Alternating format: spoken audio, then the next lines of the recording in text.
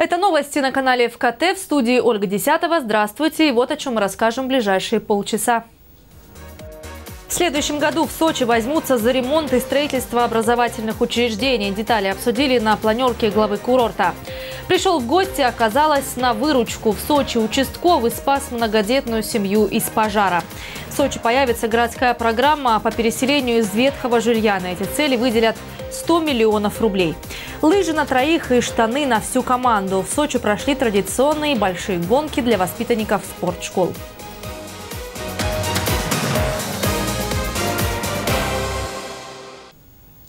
Детский долгострой завершен в станице Старотитаровская и готовится к открытию нового детского сада. Он рассчитан на 280 мест и должен помочь ликвидировать актуальную очередь. Жители давно просили решить проблему. Сейчас здание уже построено, заканчивают установку оборудования. Как идут работы, сегодня проверил Вениамин Кондратьев. Исполняющий обязанности главы Темрюкского района заверил, что детский сад откроется в апреле. Если глава района настоящий хозяин э, и думает о будущем, он будет строить детские садики. Как бы сложно не было. Детские садики и школы. Если на самом деле это тот, который э, голова, который переживает, что будет завтра и послезавтра. На территории детского сада размещены 12 игровых площадок. На втором этаже есть залы для занятий физкультурой и музыкой.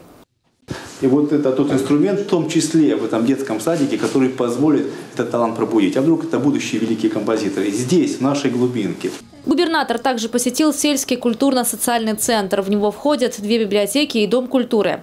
В декабре закончили его ремонт, установили новые кресла, обновили фасад и переделали систему пожарной безопасности. На все работы ушло больше двух миллионов рублей. Задачи на 2017 год поставлены. Накануне на первой краевой планерке Вениамин Кондратьев обозначил основные направления работы. Это и улучшение услуг ЖКХ, и ликвидация нехватки школ, и предоставление господдержки фермерам. Все подробности у наших краснодарских коллег.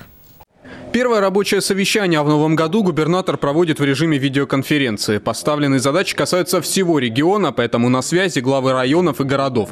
Главный вопрос, от которого зависит и решение остальных – мобилизация доходов в бюджет 2017 года. Деньги направят на модернизацию жилищно-коммунальной инфраструктуры, строительство школ и детских садов, развитие курортов. Мы одна огромная общая команда. Поэтому задачи, которые ставятся перед э, замами губернатора, значит, тут же их э, проецируйте на свои блоки. Обращаюсь и к коллегам из краевого э, центра, из краевой администрации, министерств, департамента и коллегам главам муниципальных образований. И сейчас не будет стоять задача для них и, и для вас. Задача стоит для нас, все вместе. И сразу должно быть понимание, конечный итог этой задачи – улучшение качества жизни населения. Все, друзья, других э, итогов и других целей я не вижу. Своему заместителю, курирующему экономический блок, Вениамин Кондратьев ставит конкретные задачи. В этом году в консолидированный бюджет края должны поступить не менее 240 миллиардов рублей. При этом финансовый документ скорректируют с учетом нужд в социальной сфере. Как бы мы ни крутились и не говорили, что дорого, не хватает денег на жизнь, откорректируйте в рамках нужд на социальную сферу. Это э, вот, э, самое необходимое. Э, социальная сфера это, – это реальная жизнь людей, реальная жизнь и социально незащищенных граждан. Там деньги в федеральном бюджете должны быть. Вот с учетом этого откорректируйте, чтобы вообще даже намека на дефицит бюджета в социальной сфере не было. В условиях ограниченности бюджетных денег необходимо искать механизмы взаимовыгодного сотрудничества с бизнесом, подчеркивает губернатор. Например, государственно-частное партнерство при строительстве школ и детских садов уже принесло результаты на условиях наших гарантий. Э, две строительных компании в Краснодаре в прошлом году начали за счет собственных средств строить школы. И в этом году э, в части и, и краевого бюджета, и федеральных программ, куда мы смогли попасть, мы начинаем строительство на территории края порядка, э, если не ошибаюсь, 9 школ. У нас нет другого способа, когда это на уровне края, муниципальных образований, компаний, которые готовы будут с нами строить школы, детские сады под гарантией бюджета, что вот все, что они построят, будет выкуплено. В противном случае э, на нет и, и опустить руки мы не можем. Дети рождаются, слава богу, и дети растут. Сложной в регионе остается и сфера жилищно-коммунального хозяйства. На ЖКХ приходится каждая четвертая жалоба жителей региона. В отдельных районах инфраструктура изношена почти полностью. Продолжат выделять деньги на замену сетей водоснабжения. За год их должны обновить минимум на 5% в каждом муниципалитете. Губернатор требует усилить контроль и над управляющими компаниями. Уж слишком много претензий от людей на необоснованное завышение оплаты по квитанциям. Тем более, что с июля тарифы на коммуналку увеличатся на 4%. Но в крае ведут социальную норму потребления электричества. Если не выходить за лимиты, оплата рассчитывается по сниженным коэффициентам. Самое главное, чтобы 4% не превратились в 14% в наших управляющих компаниях, а еще хуже, в 44%, когда квитанции люди на руки получат. Они должны знать, сколько конкретно и за что они платят. Все должно быть обосновано, понятно и прозрачно. Тогда не будет возмущения. Ну неужели мы не можем навести порядок с управляющими компаниями? А здесь вот два способа. И на самом деле не те, кто наводит, или, или есть э, другие причины, которые не позволяют навести порядок. Но есть реальные доказательства, есть квитанция. Ну прочитайте, возьмите сами одну, вторую, третью выборочно. И поймите, обоснованный тариф управляющей компании или не обоснованный. Если он не обоснованный, значит, э, четко примите меры, я еще раз подчеркиваю, чтобы она в рамках действующего законодательства или прекратила работать, или понесла ответственность. Управляющие компании, которые допускают нарушения своей работы, будут лишаться лицензии. Вот это другой разговор. Сегодня всем собравшимся глава региона также напомнил, что до конца года необходимо закончить работу над стратегией социально-экономического развития Кубани до 2030 года. Александр Иванченко, Денис Перец, Денис Москаленко, Кубань-24, Краснодар. Приоритетом в работе городских чиновников остается забота о сочинцах. Планы и задачи на 2017 год сегодня на планерном совещании озвучил и глава курорта Анатолий Пахомов. В первую очередь это улучшение жилищных условий и строительство, в том числе новых образовательных учреждений, расскажет Инга Габешая. Подводя итоги прошедших новогодних каникул, мэр отметил, что Сочи за этот период посетило 350 тысяч туристов. И не все местом отдыха выбрали горнолыжные курорты. Около сотни тысяч гостей праздничные дни провели в разных уголках Большого Сочи. Что же касается организационных вопросов, то все они решены на отлично. Претензий, в том числе к коммунальщикам, у руководства города нет. Нарекания лишь к бизнесу и ценовой политике. Аренда квадратного метра в Красной Поляне стартует от 5 тысяч рублей и может достигать 20. С вопросом ценообразования. Работу необходимо начать заблаговременно, подчеркивает Пахомов, чтобы в том числе создать там условия и для работы местных предпринимателей. Сейчас же все внимание нуждам горожан. Приоритетом должны стать вопросы, связанные с качеством жизни наших людей. Сегодня важнее важного – это жилищные условия. Ни наших проблем, ни наших проблем в городе у людей нет. И у власти тем более нет этих проблем. Все проблемы у дачника наши проблемы. Все проблемы у э, жителей, которые живут в самострое, э, наши проблемы. Главный приоритет – это улучшение жилищных условий горожан. Также упор в новом году будет делаться на строительство образовательных учреждений. В 2017 году начнется строительство детского сада на 210 мест по улице Астраханской в Лао, а также школ на Мамайке. В поселке Совет Кваджи это образовательное учреждение обойдется в 410 миллионов рублей и в Верхней Беранде. Подрядчик определен, школа строится в Верхней Беранде.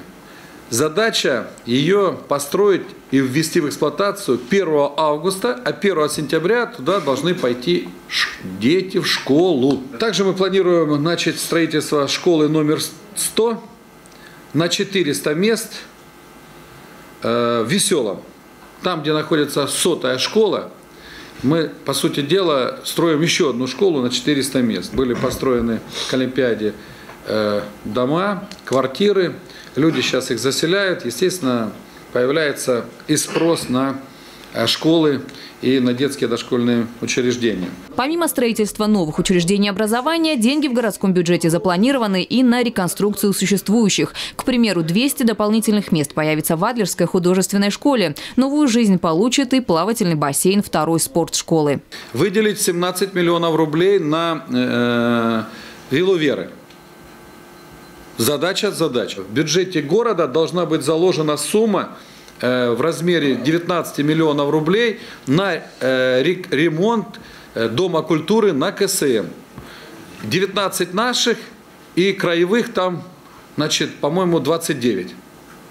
И в этом году мы обязаны этот э, ремонт завершить. Ремонта в 2017 году дождутся и десятки городских и сельских дорог. На эти цели из краевого бюджета выделяется 581 миллион рублей. Это транспортный налог, который возвращается городу. Обсудили на планерке и текущие вопросы. Тема безнадзорных животных и бесхозных машин должна быть на контроле у глав районов, отмечает глава города. Сегодня им необходимо заключить договоры со службой, занимающейся отловом бродячих собак и кошек, которых на улицах курорта становится все больше, отмечают в ветеринарном управлении.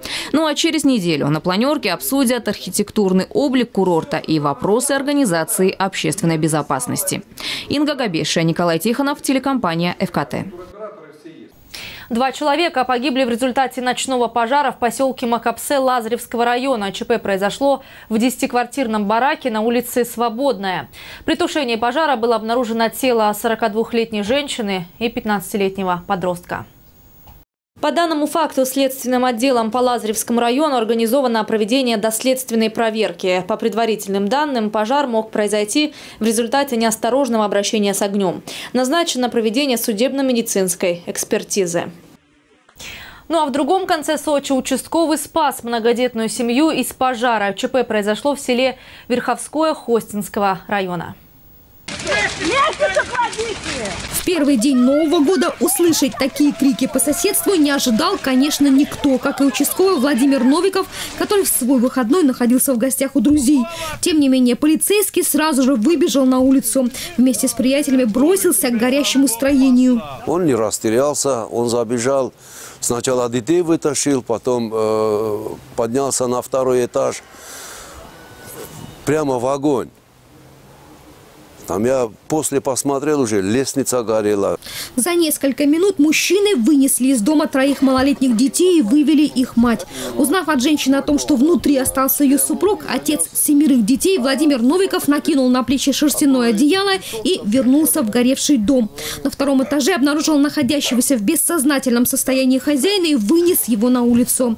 Об опасности, говорит, в тот момент и не думал мысли не было, как бы в момент этого быстро все происходило. Я проводку оборвал, чтобы замыкания не было, как бы сразу ну, думаешь наперед. И как бы, когда туда шел, не думал ни о чем. Думал, чтобы зайти, где его там найти, чтобы не сгорел. О своем поступке участковый никому не рассказал. Все стало известно благодаря очевидцам и спасенной семье. Он спас и мне жизнь, и моим детям то есть оказал помощь, оказался в, как бы в нужный момент, в нужное время. То есть большое ему человеческое спасибо. Сейчас руководство сочинского ОВД рассматривает вопрос о поощрении отличившегося сотрудника. Елена Овсецина, телекомпания «ФКТ». В Сочи на федеральной трассе на машину упало дерево. ЧП произошло в районе санатория «Белые ночи» в половине шестого утра. Чтобы вызволить из салона семейную пару, водителя и пассажирку пришлось вызывать спасателей. Спасатели убрали упавший ствол, а затем деблокировали людей при помощи гидравлического оборудования. Автомобиль двигался по федеральной трассе в тот момент, когда на него упало дерево. Из видимых повреждений пострадавшие получили лишь ссадины и ушибы и находились в удовлетворительном состоянии. Но окончательный диагноз будет установлен медиками. 58-летний мужчина и его 57-летняя супруга доставлены в больницу. Оба пострадавших – жители Кабардино-Балкарии. Сочи с начала года уже произошло 4 аварии с участием пешехода. В такую статистику приводят в сочинской ГИБДД. Полицейские рассказывают, что в половине случаев ДТП происходит по вине самих пешеходов, которые переходят дорогу в неустановленных местах. Накануне в Сочи прошла профилактическая операция «Пешеход», и в ходе только одного рейда госавтоинспекторы совместно с сотрудниками полка ДПС выявили десятки нарушений. Все подробности в нашем следующем сюжете. Очередной рейд госавтоинспекторы провели в Красной Поляне. Здесь, в районе горнолыжного курорта «Горки город», дорога четырехполосная с очень интенсивным движением. Но это нисколько не останавливает пешеходов. Тех, которые, чтобы сэкономить время, переходят дорогу, где придется. Ну, пешеход, он далеко. А Девушка, ну лучше потерять пару минут времени, тем, тем самым перейти дорогу, безопасном месте. С нарушителями полицейские проводят профилактическую беседу, но и это их не останавливает. Вот, например, эти сноубордисты уже через пару минут после разговора с полицейскими вновь бегут через проезжую часть. И снова не по зебре. А вот, например, эта парочка, переходя дорогу не там, где положено, рискует не только своими жизнями, но и жизнями своих детей. Но своей вины мужчина и женщина не признают. Ну а как? Вот представьте, у вас дети есть? Конечно, есть. Вот представь, с двумя детьми дойти туда, тяжело. Лучше пройти с детьми туда-сюда, да. Потом в из больницы. Да, ну я, наверное, не первый раз дорогу перехожу, наверное, могу с детьми перейти. Между тем, переход дороги вне пешеходного перехода – это административное правонарушение. Таких только за один день на одном участке полицейские выявили несколько десятков. За отчетный период на территории города Сочи увеличилось э, количество дорожно-транспортных происшествий с участием пешеходов.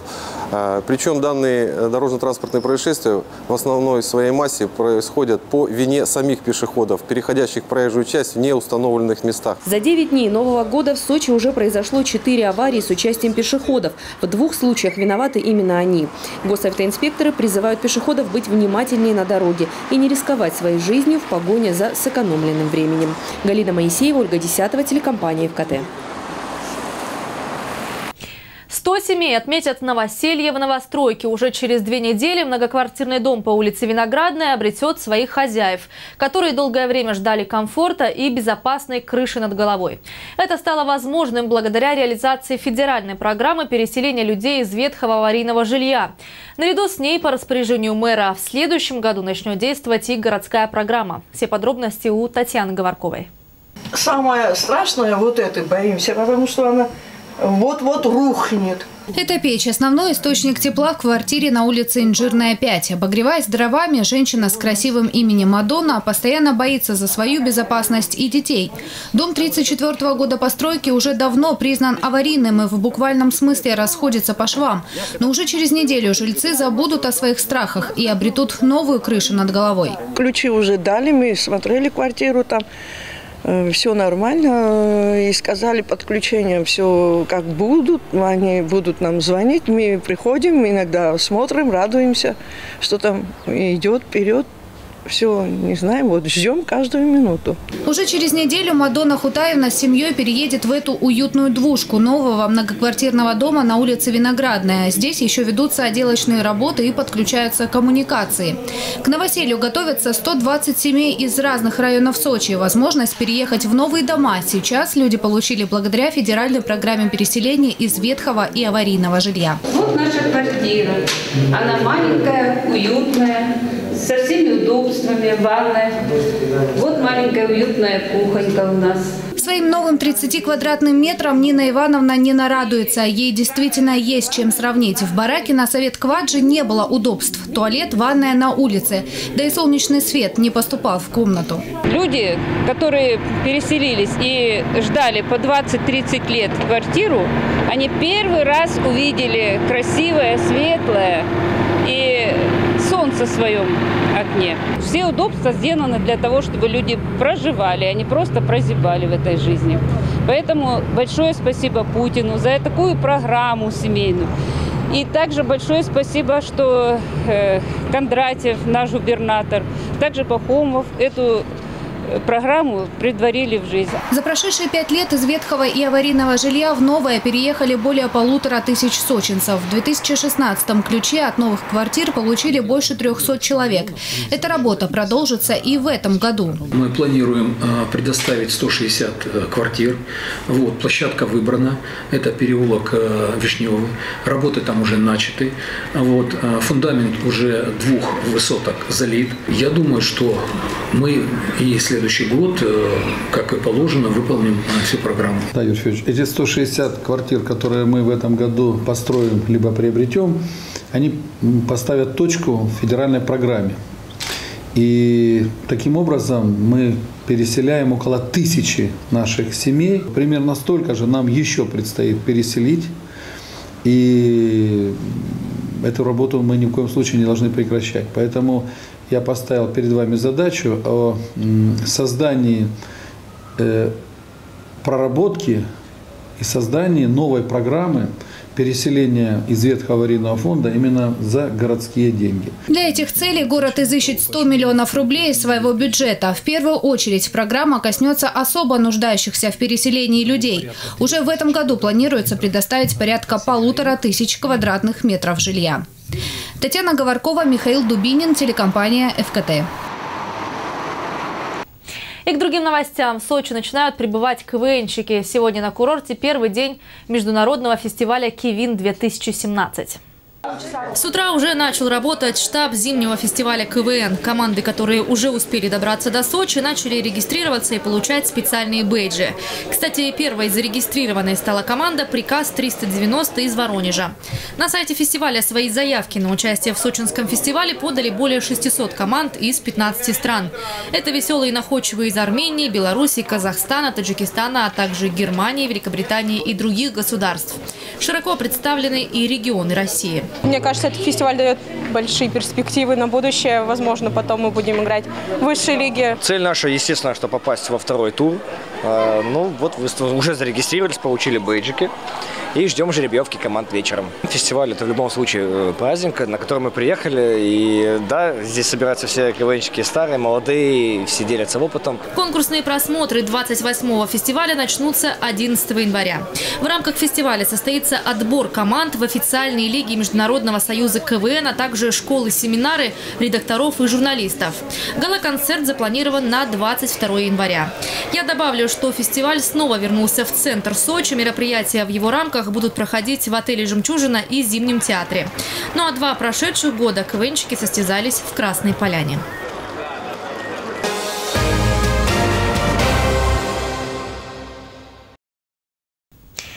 Большие гонки по-сочински под таким названием в спортзале гимназии номер 9 прошла традиционная, уже пятая рождественская эстафета. Слово Елене Овсециной.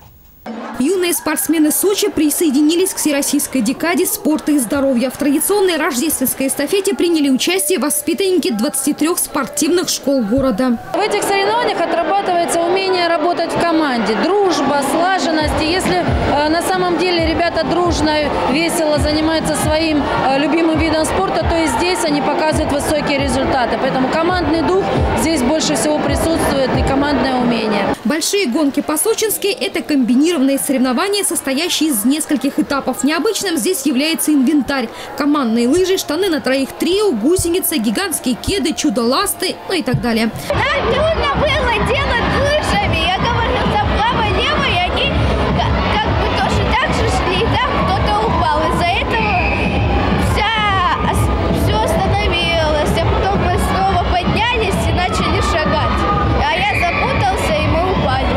Слаженно пройти дистанцию удалось не всем, но вот девчонки из первой спортивной школы оставили позади себя команду мальчиков. Потому что это командная игра, мы все хорошо вместе как бы ну, в команде да. работаем.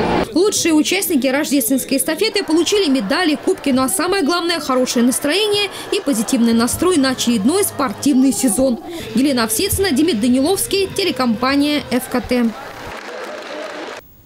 Ну и в завершении выпуска информация от наших партнеров. Сеть салонов ткани для дома предлагает широкий ассортимент ткани, текстиль, постельное белье, пошив, штор на заказ.